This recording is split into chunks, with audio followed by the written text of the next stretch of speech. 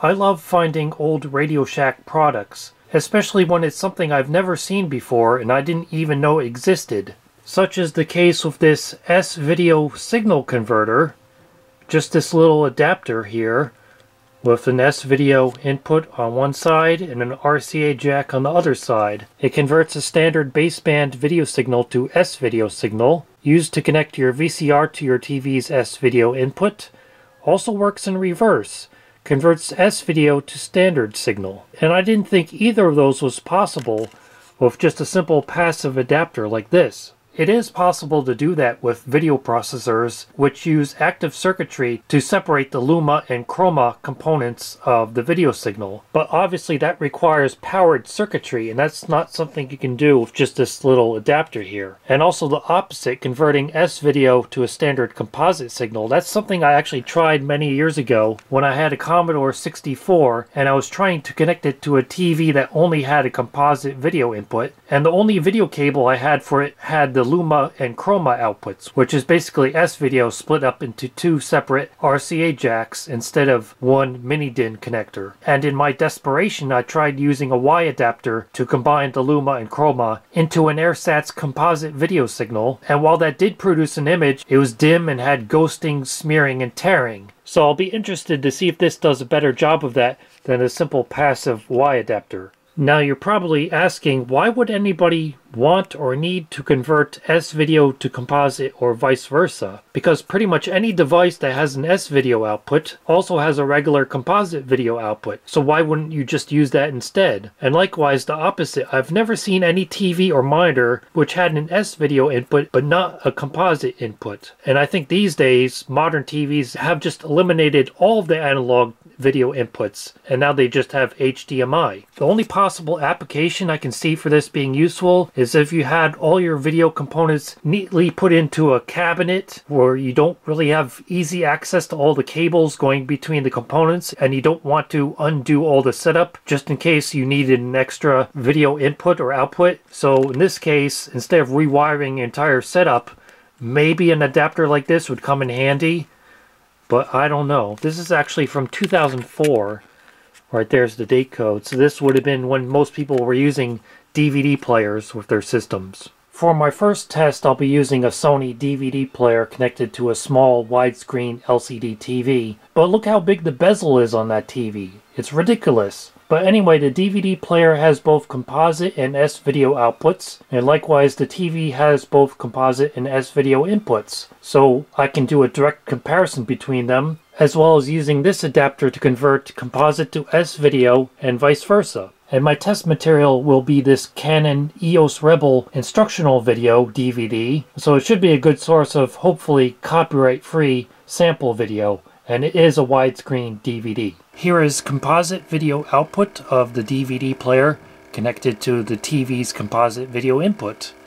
And you can see some dot crawl on the fine details of the lens and also some smearing around this red box in the menu.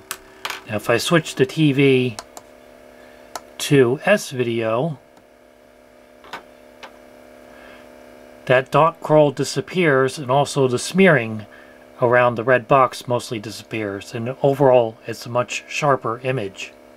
Now here is using that adapter to convert S-video to composite and I don't notice that dot crawl around the camera lens but overall the picture looks much softer and you can also see a lot of smearing around the red box in the menu. So overall it looks like really bad composite video.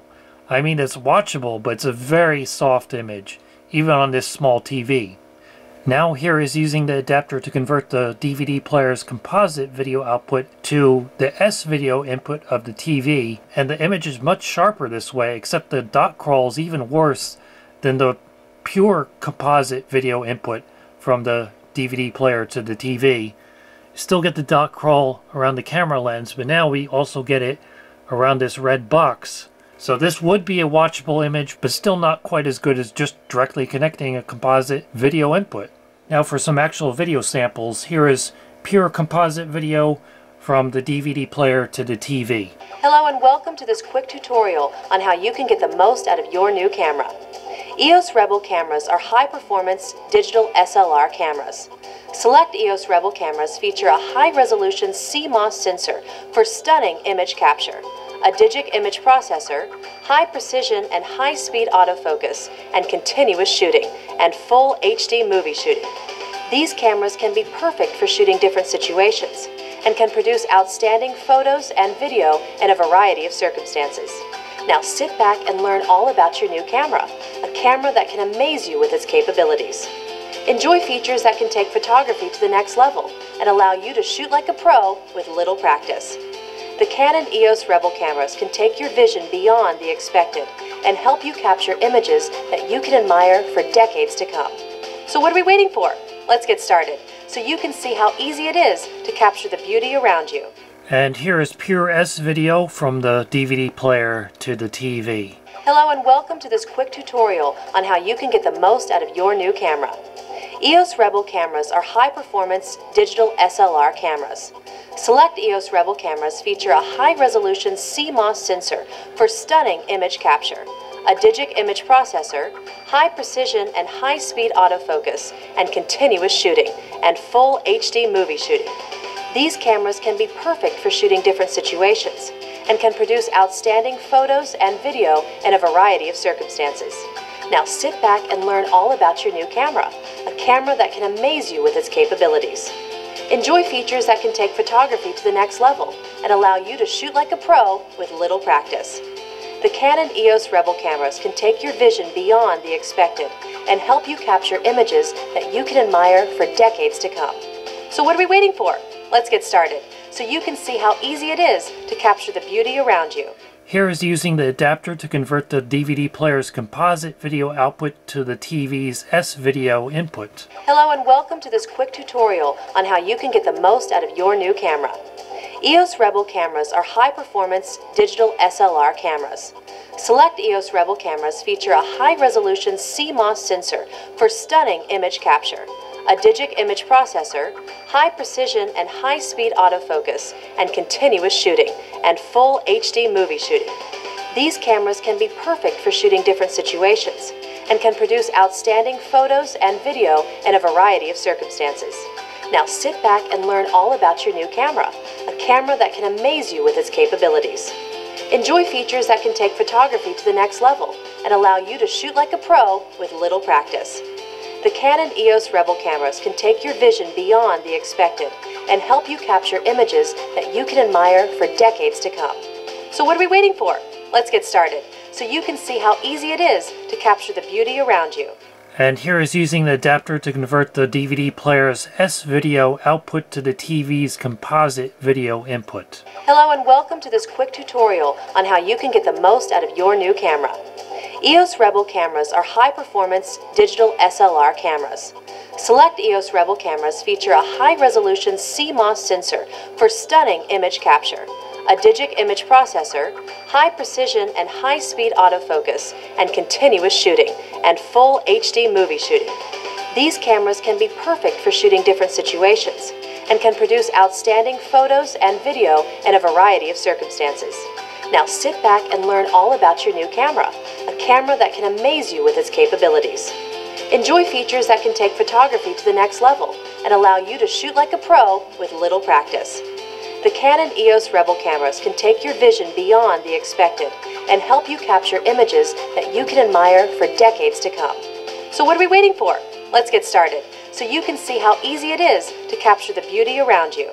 So the adapter does work as advertised, although depending on which way you use it, you get video that's either a little bit worse or a lot worse than just using a plain composite video input. But that's with a widescreen LCD monitor. How about with a standard 4x3 aspect ratio cathode ray tube monitor, like what most people would have been using back in 2004 when this was new? Now I'll be using an Amdek Color 1 composite video monitor from 1983. It was made by Hitachi and is basically just a TV set without the tuner. This time with Keeping Up Appearances, because that's a 4x3 aspect ratio DVD.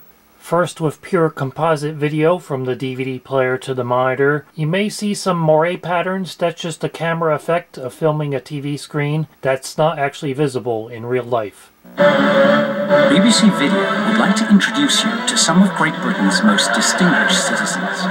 The calm and graceful John Cleese, also known as Basil Fawlty, innkeeper of Fawlty Towers. My God, you're ugly, aren't you? The dedicated and polite department store employees of Are You Being Served? Pants are up and bras are down. You smooth-talking sex maniac. The charming and handsome star of Mr. Bean, Rowan Atkinson, also known as the Black Adder. What begins with come here and ends with ow? I don't know. Come here. the most sought after and elegant hostess in all of Britain. I want people to walk through this door and stagger back in admiration. Patricia Routledge, as Hyacinth Bouquet in Keeping Up Appearances. I have reason to believe that something's pooped in my polyanthus. The best of British comedy. Classy, sophisticated, subtle. Natural more. Four hilarious shows. Now available on DVD from BBC Video. Thank you so bloody much.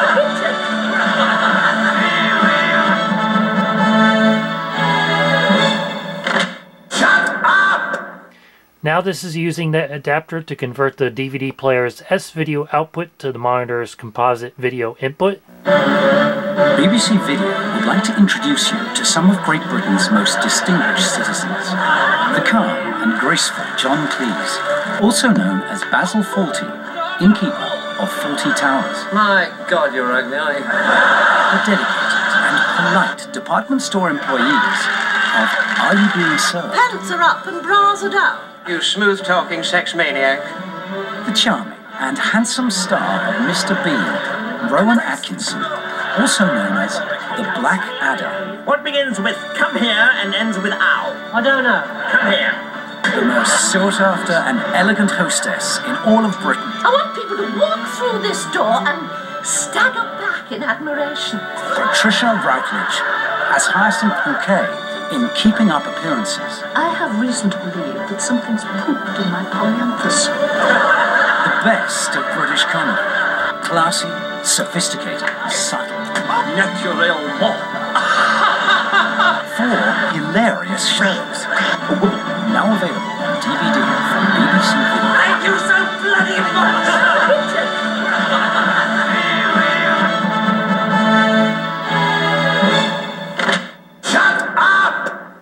And here is a still image comparison of pure composite from the DVD player to the monitor.